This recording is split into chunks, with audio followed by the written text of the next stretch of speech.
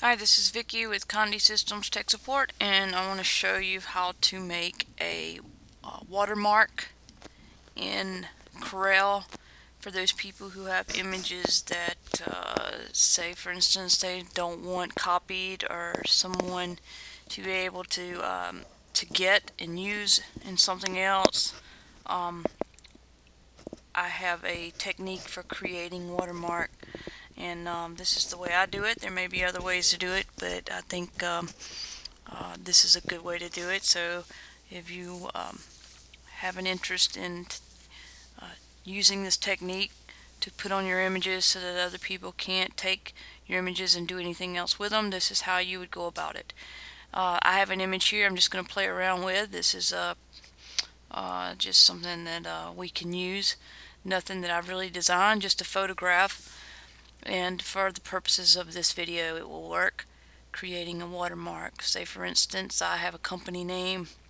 I'm going to use my text tool and um, I'm going to type something like uh, I'm just going to make something up. Um, I'm actually I'll just use our company name. I'll just say C-O-N-D-E oops Conde dot Conde IMAGES, Conde Images, um, let's see, back up to this, uh, C-O-N-D-E, I-M-A-G-E-S dot com, okay, that's just a made-up name. Now I need to choose a font that, uh, that I will probably use permanently, so let's just, uh, let's go in here and just pick something. Um, we'll choose something like this. This will work. And so um, I probably will make it white. And now what I want to do is um, use this. Let me give it a, a border for now so that we can see it. So I'm just going to left click over here as a in the uh, black and create a black border and now what I should have is a black border. I'll make this a little bigger so that you, uh, you guys can see what we're working with. So, um, there yet, let's just make it yellow, get rid of the border. Uh, let's just make it something we can see for now. Okay, so now I have something that says condeimages.com. That's uh, my pretend name. And what I want to do is create a a watermark or a stamp so that no one can take my images and this is one way to go about it. So I have uh, my condeimages.com selected and now I'm going to create a transparency. So I'm going to left click on my transparency tool. If I don't see it here if I just scroll down it's it's the uh, fifth one up and just hold my left key over it and now I can see that my transparency tool is in there. You may see some of these on the forefront but your transparency tool uh, will be hidden if it's not shown here okay? So I've chosen that. It looks like the wine glass. And now um, once I choose a tool from the left uh, I get this menu box up here that is uh, unique to the tools that I choose on the left. So that gives me more options within that tool to use which is great. Uh, so now I'm going to drop this down. I'm going to use a uniform and what the uniform does is it creates a transparency that is consistent across uh, the whole word condeimages.com. So um, when I've chose that, I can see that I have a, um, uh, it's kind of like an occupancy, a percentage of how light or dark I want it. So I can go lighter or darker, okay? So we're going to go, for now, we're going to go a little dark. We're going to drop it down to 33% and I'm gonna uh, oops sorry. I'm gonna actually grab this and put it somewhere in the center here okay? So what I also want to do is probably to go across the image in an angle. I'm just gonna you see I have this bounding box here.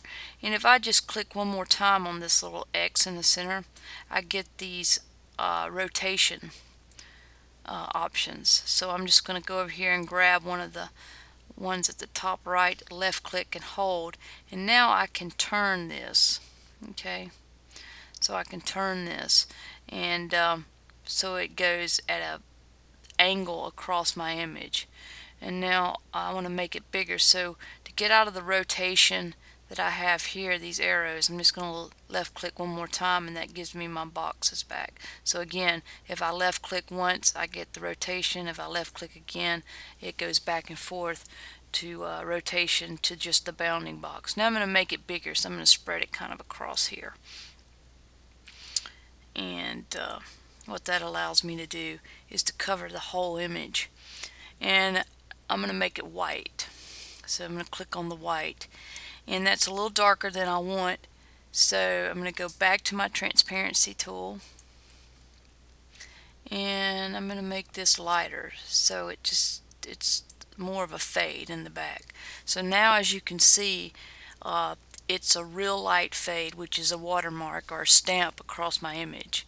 And um, now I've created a way that should anyone try to use my image from my web page or wherever I place this image they have this uh, watermark to deal with. And uh, so to make it stay so that it's part of my image I'm going to left click on my pick tool again. And I'm going to grab this whole the image and the text that I've created. And I can do this one of two ways. As you can see I've already got the text selected but I'm going to click outside of it uh, because now it looks like it's all one you know the image and and the text are all one together.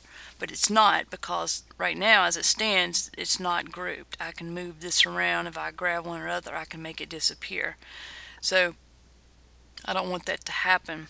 What I want to be able to do is that if you grab one you've got the other. So clicking back outside off the page to deselect it.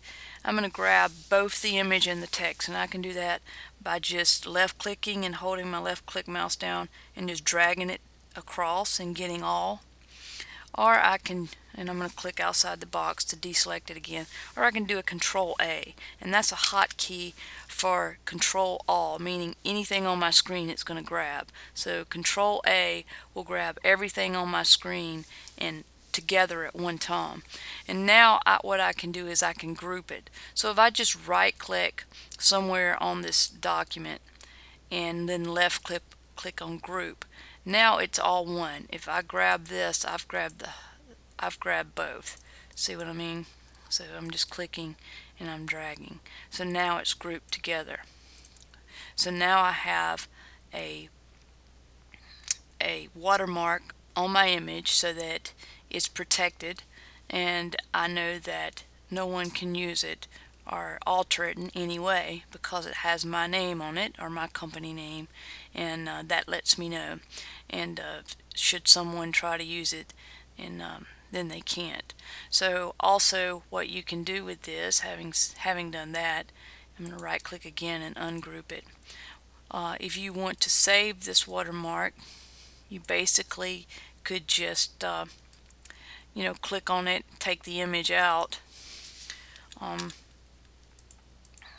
and let's just uh, say, for instance, uh, let's just make it darker so we can see it. So now I can save it. If I just want to save this so that I can incorporate it into other images in the future, I can just do a file save and um, I can call it, uh, um, you know, I could put it somewhere in a folder for now on my desktop and I can just call it um, you know my watermark. You know and then I have it for the next image. I don't have to recreate it. I can just go grab it resize it do what I want to with it. So that's how I would do that. And um, just to go back to where we were. So again um, I hope this has helped. I do have one other thing I want to mention. Should uh, There is a website uh, where you can go if you want to get even more particular about your images and more protective, should I say. There's, uh, there's a website and it's called, and I'll type it here. Make it big enough so you can see it. And it's called uh, D-I-G-I-M-A digimarc.com and you can actually go and purchase um, a way so that you can track your images should someone use it. So on this website you can go and I think there's a, um, a fee you can pay for an actual uh, way of tracking your images should anybody use it and I did want to mention that so um, it's a more protective way uh, for you people photographers and, and people who create designs that don't want uh, these designs getting in the wrong hands you have a way of tracking it. So I also encourage you to visit visit that web page if you want to get a little more protective about your images. Again my name is Vicky. I'm with Condé Systems and I hope that this video helps. And thank you as always for your time